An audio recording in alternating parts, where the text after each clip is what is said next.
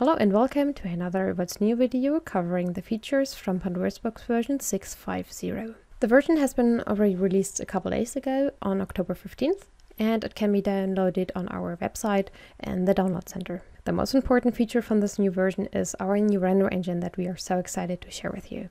Technically speaking, our render engine is not based on DirectX 9 anymore, but DirectX 11. And this sets ground for a lot of new features that will be coming in the next versions. One of the first features that comes with this render engine, however, can already be seen in this version 6.5. Two important features that are already based on this new render engine are more performance on the one hand and a higher color depth on the other hand. So Pandora's Box version 6.5 enables you to render in 10-bit on a server. Coming with that, we have also integrated a new image format to Pandora's Box version 6.5, which is called DPX. We have also updated our image converter to read and export those files. And at the end, I will show you another option from the render engine, which is called texture splitting, which enables you to get even more performance out of your machine. And lastly, there's the feature that you can now use also the audio tracks that come with an HDMI signal when you're using our input ports. In this video, I wanted to give you a little bit more information regarding color depth. I don't want to go too much into detail, so it's just the very basics that I think every Pandora's Box operator or user should have before using the new 10-bit rendering feature. We will have a look at standard color depth, what we are using up until today, and the differences to higher color depth. When you're using standard color depth, you are saving your images with 8-bit per channel. If we are doing a little bit of math, so 2 to the power of 8, we get 256 values or shades per color. So this means, for example, the red color. So you have 256 steps from the very darkest red to the very lightest one. In other words, the color depth also describes the ratio between the maximum and the minimum luminance. As I said, we have 256 values for each color channel. As we have three channels, red, green and blue, we can multiply 256 three times with each other to receive 17 million colors. This might already sound a lot to you, however the human eye can actually perceive much more. And this is the reason why the higher color depth is such an important step towards a better image quality. The higher color depth is defined to be everything above 8-bit per channel. So for now we have a look at the 10-bit rendering. If you calculate 2 to the power of 10, you receive 1024 values or shades per color, which is 4 times as much as we had with the 8-bit rendering. If you calculate the total amount of colors, we actually receive 1 billion colors. So just a change of 2 bits per channel gives us so many more colors that we can use in the content. So whenever you had content in the past that even when using an uncompressed format showed you artifacts or color banding, especially for example when you had gradients, this is not a thing anymore when you're using 10-bit rendering. Another big step is that 10-bit rendering enables us to playback HDR content. I will talk about HDR in the next slide, but before we do that, I wanted to give you a little bit more, um, let's say, practical information when dealing with files with another color depth. As we've seen, the standard color depth is saving 8-bit per channel. However, this can also be called true color 24-bit, and this 24-bit simply results in adding up those channels. So as you see, this can be quite confusing and this is just because the color depth is not really defined how it is meant. Depending on the software program or the image format, it can mean bits per pixel or per channel, that is the RGB or transparency channel, or it can actually mean per file. I would like to show you how this looks like when you're using Photoshop or for example the Windows File Explorer and answer the question if you want to render in higher color depth and you receive 16-bit content whether that is okay or not. Before we have a look at Photoshop, I would like to show you how it looks like in the Windows Explorer. If you turn on the column bit depth, you see here the information that Windows um, tells you that the file has, and the bit depth here relates to the bits per file. Um, so it adds up all the channels and displays here the number. The same information is seen in properties. In Pandora's Box, however, we are talking about um, bit depth per channel. So when we say 8-bit or 10-bit, we obviously mean the rendering per channel. And we have added the information to the inspector as well, um, that it tells you the color depth um, per channel for a file. So if somebody gives you um, wrongly labeled content, um, JPEGs cannot be saved with 16-bit, um, you see right away in the inspector that this one is actually saved with 8-bit per channel. And the same thing is happening in Photoshop. Um, I'm sure other imaging software gives you the same information uh, or, or recording information. In Photoshop, they do it like this, that they tell you here the channel number, it's actually three channels. And here you see the abbreviation um, BPC, which stands for bits per channel. Unfortunately, I cannot show you how 10-bit content actually looks like. On the one hand, I'm recording this in 8-bit, and on the other hand, you're most likely watching this on an 8-bit display. So I thought, just to give you an idea, I would take Photoshop and reuse the color depth so that I could demonstrate the reverse effect, how much 2-bit actually matter. But after hours of work, it turned out that was a dead end. On my side, I saw the wanted results, which was obvious gradient banding due to the reduced shades per color or other artifacts. But once I looked at the YouTube content, all those errors were just smudged, thanks to the good job of video compression. But I think that you have all seen those pictures or movies where color banding shows up, for example in a cloudy sky or in darker scenes of a movie, um, or especially in CGI content that is computer generated images. So all this content takes advantages from the higher color depth. Next, I want you to talk a little bit about uh, the term HDR, which stands for High Dynamic Range. HDR can be found in a lot of areas, um, so it can be a little bit confusing when you start researching it. The term that you want to be looking for is HDR video. This covers um, the content production and the rendering what is happening in Pandora's box the HDR technology described as HDR image, or um, you might also uh, know it from when you take pictures, for example, with your iPhone or any other camera, is something totally different. So you might know that um, when talking about HDR photos, they actually use an 8 bit technology and just boost up the image by um, mapping different images on top of each other, which were made with different exposures. Um, so when you activate the HDR function on your camera, it takes actually several photos and then merges them together. So you get one image that uses the 8 bit color range, but you do not have under or overexposed areas in your image, and that makes them look more realistic. But indeed, they are still 8 bit files.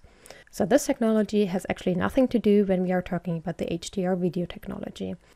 Often the terms HDR and 10-bit are used kind of interchangeable, but indeed they are not. Um, they mean two very different technologies. So the HDR, what we are talking about, uses 10-bit technology. It is based on it. In the same way, it is based on the technology covering the wide color gamut. So the standard color gamut describes um, how the colors are defined on CRT monitors, for example. In difference to the standard color gamut, the wide color gamut, or short WCG, defines the primary colors um, to be more like the human eye actually sees them. So any monitor or projector that is capable to show you this wide color gamut actually shows deeper and richer colors, and you will perceive them as more lifelike. So these three terms are kind of um, linked to each other like this. You have the 10-bit technology, you have the uh, wide color gamut technology, and the HDR is based on those two. Altogether, you have um, better colors, you have brighter colors, and due to the 10-bit technology, you have smoother color transitions. So indeed, you have actually more colors that you can show in HDR. Probably the most important thing to remember from this sheet is that if you're using HDR or any other 10-bit content, you really, really have to make sure that you are using HDR throughout your entire signal chain, which means that you must use it during capturing, during processing, and during displaying. It makes absolute no sense to, um, for example, if you have 8-bit content and you have a display that is capable to show you actually 10-bit, it doesn't really make sense to process a 10 bit because we cannot put information where it's not provided by the content. And vice versa, if you have 10 bit content, but you are using an 8 bit display at the end, it does not make sense to process it in 10 bit because they are lost at the end, anyways. So, whenever you are enabling the 10 bit option in Pandora's box, make sure that your content provides it and that your display or projector is also capable to show you this 10-bit content or HDR content if you're using such. I find it helpful to keep in mind the signal chain with different resolutions. So if you have low res content, but you have, for example, a 4K monitor, the processing can also happen in this lower resolution in order to save performance. So it's very obvious that processing content in higher resolution uh, takes up much more performance, and in the same way, it takes more performance if you're processing files in 10 bit. So this is not only noticeable when you are copying content, but also when you are using it on the computer and render it. And this is also the reason why you can find the 10-bit render option for each client separately. If you want to activate it, first go to Configuration, choose the category Render Engine, and next in the drop-down, choose the client that you actually want to activate 10-bit rendering for. So in my case, I'm going to choose this one. This is a server. And under back buffer color depth, I can toggle to 10-bit.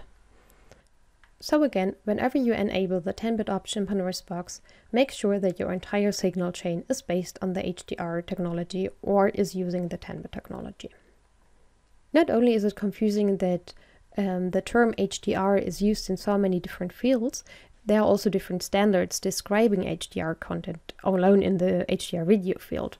So today these four standards or profiles are the most important ones.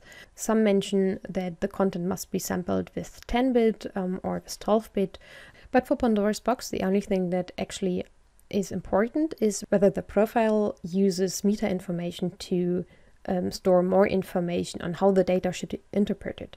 So no matter whether it's static meta information or even dynamic meta information, Pandora's box does not read this meta information. So in short, Pandora's box version 6.5 can encode 10-bit content, which includes HDR content, as long as it does not come with any meta information. So let's have a look what content you can import to Pandora's box, which saves 10 or more bits per channel. When we look at the video formats, there are some QuickTime formats you can use, for example, some ProRes flavors or H.264 or 5. Looking at the image side or image sequence side, from the formats that we already supported, there is the TIFF format and the PNG format, which can be saved with 16-bit per channel. So you can either decide to save it with 8, or the next step is then with 16-bit per channel. As I already mentioned before, it takes a lot of more processing power and reduces your performance if your content provides a higher color depth that you can actually use. So the new format that we are supporting with this version is the DPX format, which is very much like the um, bitmap format. So it saves the file information in an uncompressed way. And this format is one of the very few ones that can actually be saved with a different variation of the color depths so DPX files can be saved with 8 or 10 or 12 bit. The highest efficiencies that you can reach with Pandora's box if you want to play back uncompressed image sequences can be reached with the 10-bit DPX format. So to sum this up, these four image types um, provide a higher color depth when you are rendering with 10-bit. So as we have integrated the DPX format to Pandora's box, we have also integrated it to our tool, the image converter, which is now also capable of reading 16-bit files of PNG or TIFF. So when we have a look at the image converter, for example, by opening the tools menu from Pandora's box and choosing the image converter, you can use it as always. You can uh, convert single images or entire folders if you want to use them as image sequences. And as I mentioned, you can input PNG or TIFF, the 16-bit, or you can input DPX files, for example with 12-bit, and then you can convert them to DPX 8-bit files using the RGB channel, or if you have transparency in there, or you can convert them to 10 bits, which is which is the option that uh, gives you the highest performance because your content does not include unused bits that need to be processed anyhow. As I mentioned in the beginning, the new render engine comes with more performance. And this is because we have reworked pretty much everything, the entire engine. Not just effects, but also fundamental mechanisms, like how we handle or render videos. We improved image sequences, QuickTime videos, and large textures in general, and pushed pretty much every border we encountered. So altogether, limitations are pushed from the software to the hardware again, so that you can make the most of your existing hardware.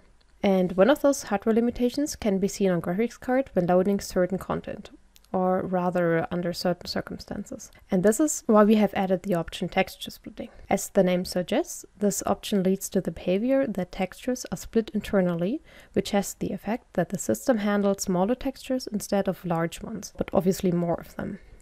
So when does this behavior make sense, you are probably wondering. And the answer, unfortunately, is not really straightforward as it depends on various factors. And this is the reason why the option is not enabled per default and why it should be enabled for each client separately.